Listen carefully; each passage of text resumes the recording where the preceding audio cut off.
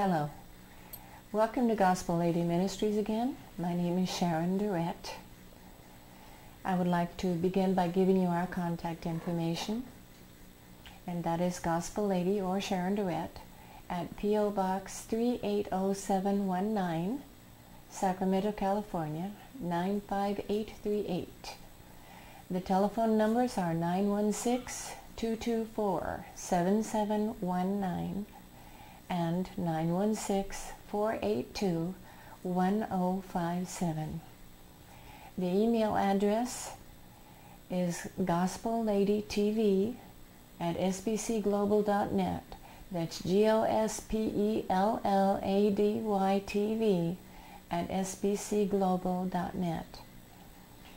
If you would like to be on the email mailing list to receive our newsletter that comes out twice a month, please email me or call or write and let me know and I'll be glad to add you to the list. There are many people around the country that receive the newsletter and partake of this ministry. I share a few things about the TV program as we're progressing little by little. And we have prayer requests. We have answers to prayer that are shared. Sometimes I'll write an article or share scriptures.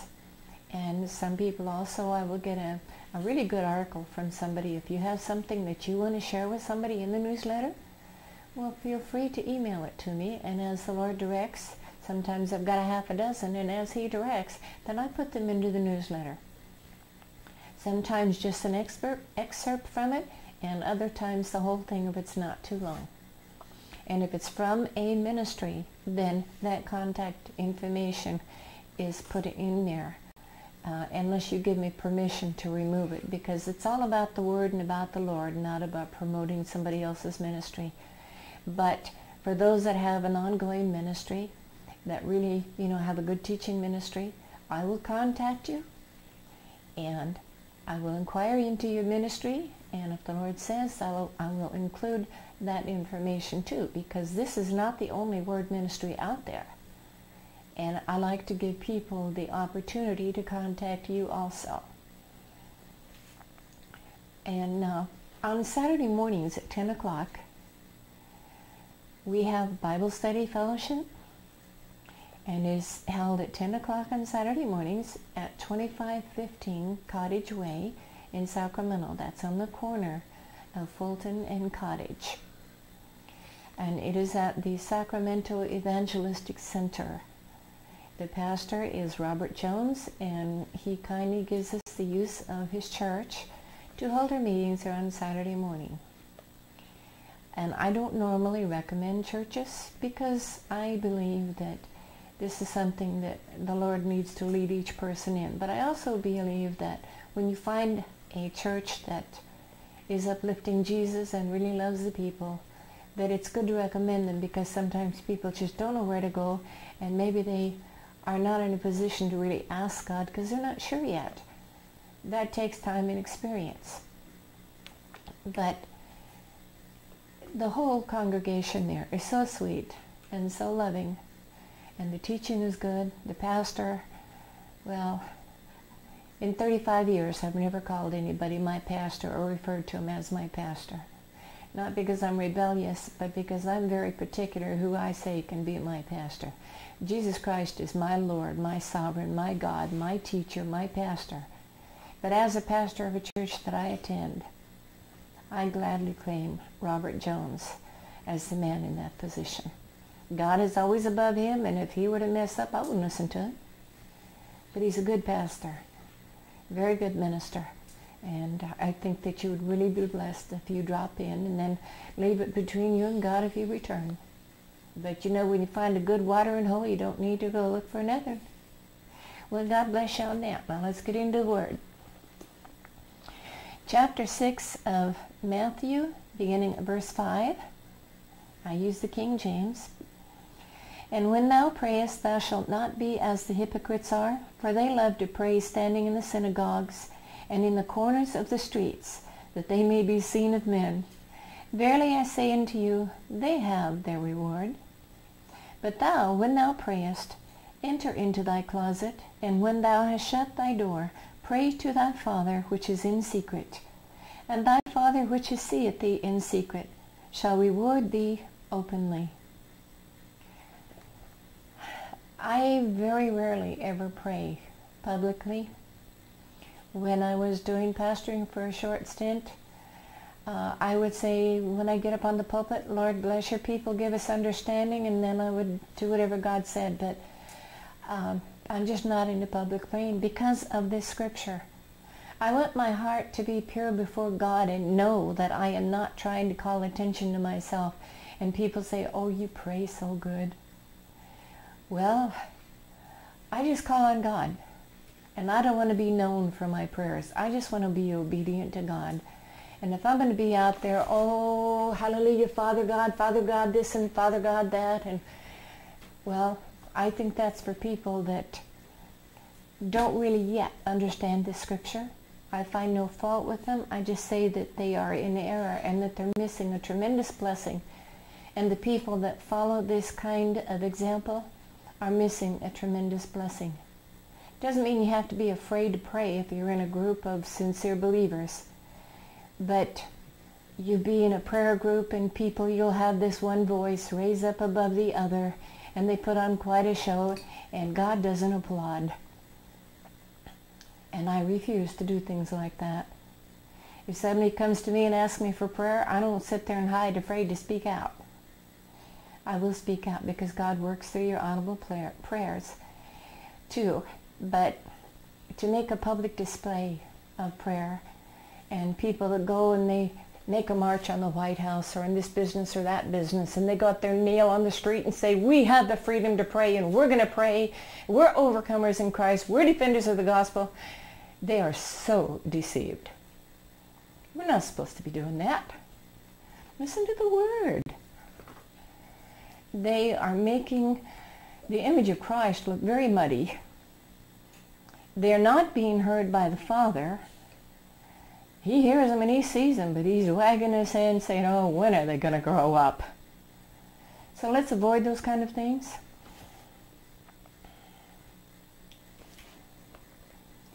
But when you pray, use not vain repetitions as the heathen do, for they think that they shall be heard for their much speaking. Be ye not therefore like unto them, for your Father knoweth what things you have need of before you ask him. Doesn't mean you shouldn't ask him. It means he knows what you need. And he wants us to pray because he wants a personal communication with us. And prayer is not getting God to do something for you. Prayer is submitting your heart to God to accept his will. Because when you pray and you don't get answers to your prayers, it's because the motive in your heart was wrong. You prayed amiss. It was something that you just had to have, or somebody you just had to control. And you're praying for God to deliver your habits that you have no intention of giving up. He's got to hypnotize you and blindfold you and gag you and tie you down to get a habit away from you or a sin away from you. God doesn't work that way. It's called pray, repent, submit yourself to God, and ask him to help you change. And he'll do that through the Word and through the Spirit. Ain't going to work any other way. So you're praying amiss, so you might as well listen to the Word, humble yourself before God, and learn to pray and build a communication and a relationship with the Father through Jesus Christ. Excuse me, please. He says, After this manner therefore pray ye, Our Father which art in heaven, hallowed be thy name meaning you're acknowledging that God is our Father. His dwelling place is in heaven. It's a, it's a spiritual kingdom. It's not something you can see with your eyes. And that he is absolutely holy, and we're to even consider his name holy. And not come in so casually, disrespectfully. So many people come in, whether it's in a home meeting, which I love, or whether it's in a church, any place you come in to talk to God, you kick back, you fold your foot one upon the other, and you lean back and get a cup of coffee and say, oh, Holy Father, this and that, you know. You might as well say, hey, drop a chair, Jesus, and have a beer. Now, I don't believe in this stiff formality, but we treat businessmen better than we do the Almighty God. So let's show him more respect. Thy kingdom come, thy will be done in earth as it is in heaven. This world is never going to conform to the image of God. It's eventually going to be destroyed. But in the earth, in the kingdom of God, in this earth, us, in my life, let the will of God be done as perfectly for those that will do the will of God as it is in heaven. There's no sin in heaven. There should be no sin in us. If we will seek the Father with all of our heart, and if we will humble our hearts, repent of our sins, turn from our wicked ways, and seek the righteousness of God and live holy, and commune with him, we're the friends of God if we do what he says. We're not going to mistreat our friends. Not real friends. If we're a real friend, we are not going to mistreat our friends. Why would we mistreat our friendship with God? And believe me, we do it all the time. And his will is not done in the lives of people who follow after this pattern. Give us this day our daily bread. Oh, look at that new Dodge Charger. I just know by faith that God's going to give me everything I ask for. But he tells us not to lay up our treasures here because where our treasures are is where our heart's going to be. We're supposed to seek the kingdom of God and his righteousness and then he will add the needful things to us and you know he'll even throw in some extra blessings now and then. But so often I've been speaking with other people or they call me for prayer request or in church, the prayer request you hear. Pray for so-and-so to be healed pray for this car that I really need. Well, if you really have a need, it's okay to ask for prayer. But who needs a $40,000 car? I'm sorry. That's a desire. Oh, God will give you the desires of your heart, not when they're lustful, not when they're greedy, not when they're excessive. So check your heart. God doesn't mind if you drive a nice car, even a $40,000 car, but make sure your heart is right. Make sure you're living for him and don't be asking amiss. He's not interested in filling your lust or your greed. But he is interested in giving you your daily bread, which first of all, Jesus Christ is the bread of life, which is the living word. That's the most important thing, and that's what he's talking about. And of course, he will give you daily food, which is also considered meat or bread. But you don't have to have steak and lobster every day. I mean, you know, go out for your birthday or something, that's great. He doesn't mind. But when you got to have this highfalutin stuff and you have a fit if somebody sets peanut butter jar on your table, you just highfaluted yourself right out of God's presence. What you got, you give thanks for, bless it, and you eat it. He's not going to give you nothing bad or wormy. And if you be content with what you got, maybe you get a some time. But don't be so fleshly, carnally minded, using God as a sugar daddy. You know what a sugar daddy is? He's a sucker. God is no sucker. And he's not interested in us climbing upon his lap, so to speak, Hallelujah, Lord, we love you so much. You come into church and the first thing you do is start singing and clapping and praising God and pretending the Holy Spirit's anointing you when he isn't. Because he wants you to be clean to come into his presence. He wants you to come into his presence. He's with you all the time. But with praises and thanksgiving. But not if you got sin hanging all over you. I will not let anybody come to my table that is filthy, dirty, and stinking. Would you? Nuh-uh. You tell me, hey, honey, there's a hose out there you can hose down if you don't have a sink. Okay, you go in the bathroom, wash yourself up. At least wash your face and hands and shake some of the guck off of your clothes. You don't come sit like that at my table. You make everybody around you sick, and I get sick just looking at you. That's the way God feels about the people that come into the church or a meeting or even all by themselves by their bedroom on their knees. Hallelujah. I love you so much, Father God. I worship you and I praise you. And they won't let go of that filthy sin that they're hanging on to. And God is so sick of that.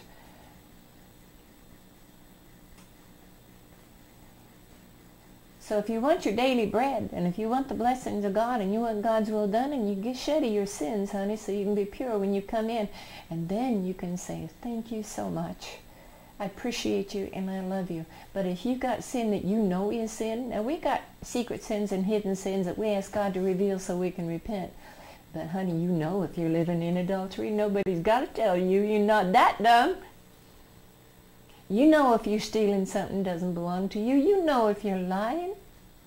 You know if you're cheating. I mean, you know, some of us not too intelligent, but you're not that dumb.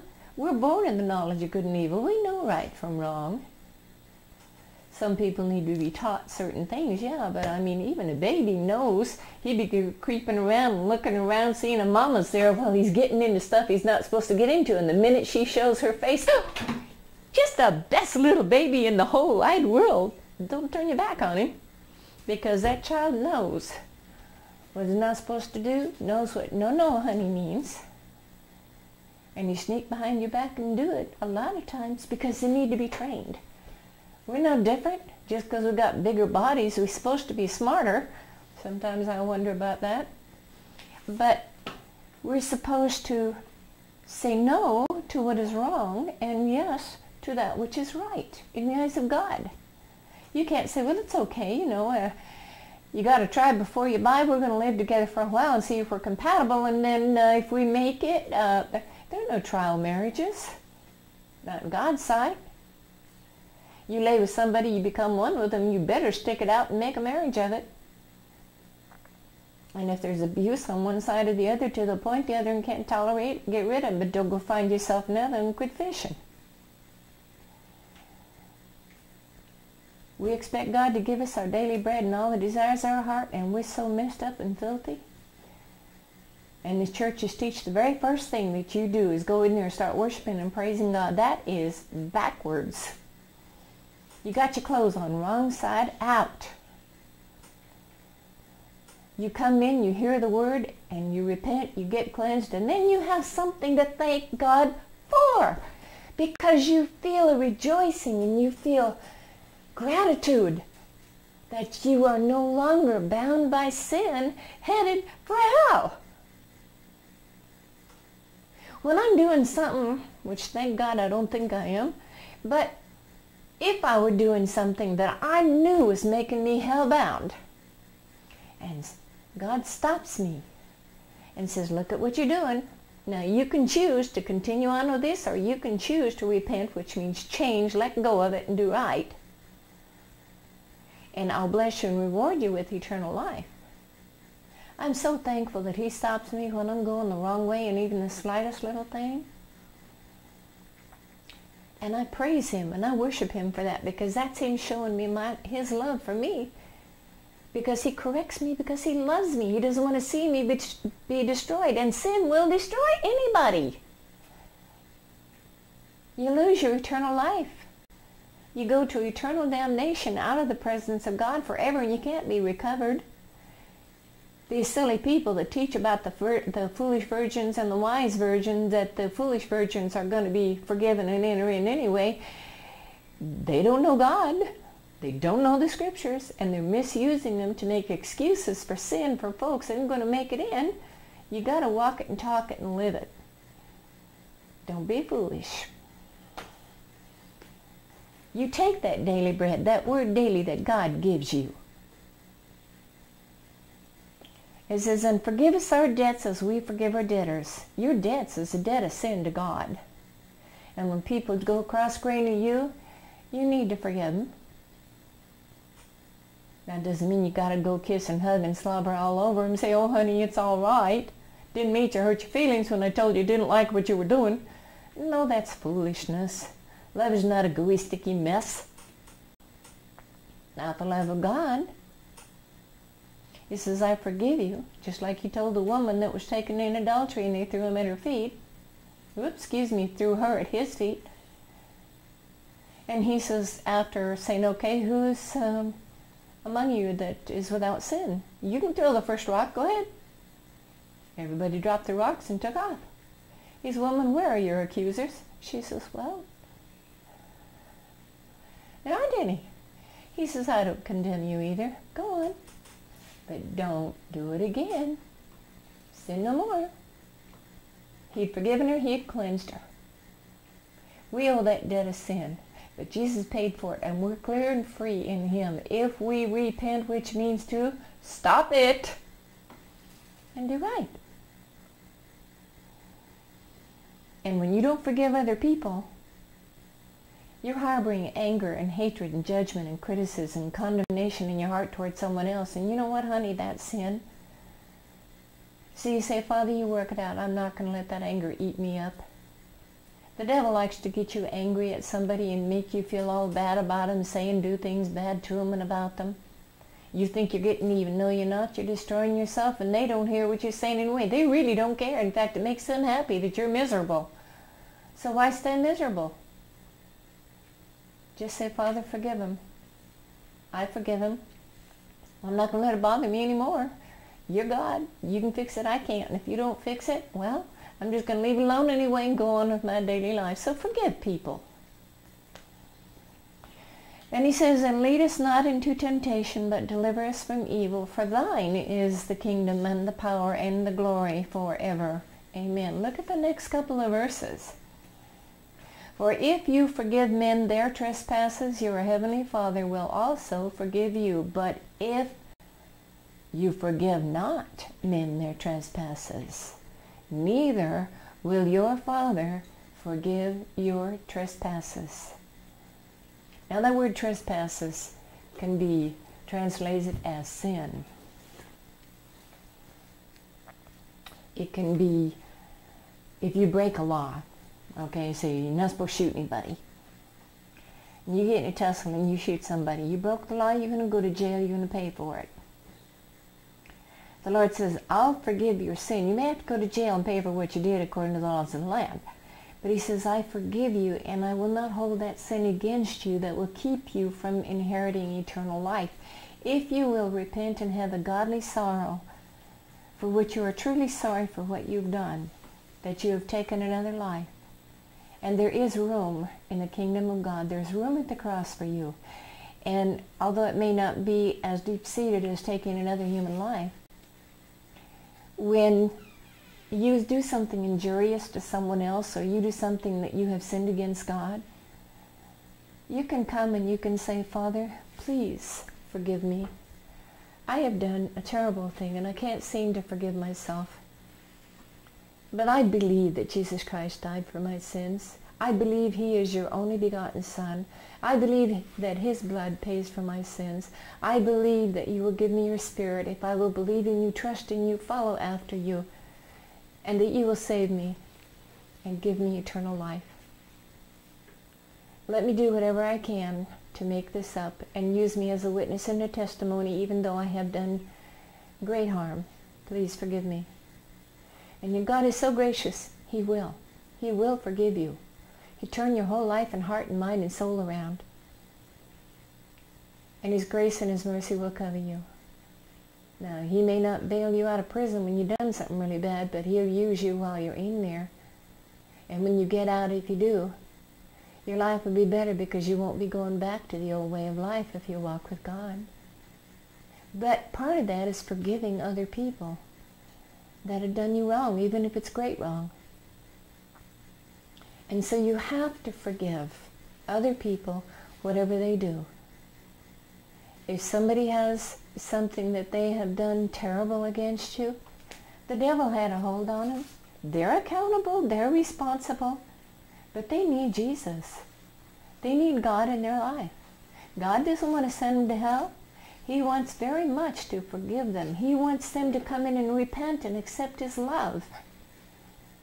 So therefore, if you retain anger against someone else, you're just eating up your own spirit, your own soul. You gotta forgive them. Leave them in God's hands. It doesn't mean you have to buddy with them, but it means you're willing to forgive them and not try to go after them. So have a repentant heart, and please realize that the Lord wants you to learn all these things so that you know how to walk with him so he can bless you. He's your Father. That is if you've been born again. If you're not, accept him and he will be. but he loves you enough that he gave his only begotten Son, Jesus the Christ, to live as a man, show us the way, to suffer, to give his life, to be buried, rose again, showing he had the power over everything, including life and death. He is the creator. He is God. He's the master. And you need to live holy. So please, read the Word, study the Word, live the Word, love the Word, and walk in God's love. And it's time to close now. We'll see you next time. Thank you so much for joining us. And uh, before you go, I do want to again remind you of the Bible study on Saturday at 10 o'clock at 2515 Cottage Way in Sacramento. Our phone numbers again are 916-224-7719 and 916-482-1057. Please contact us. We would love to hear from you. I'll pray for you. You pray for me. God bless you.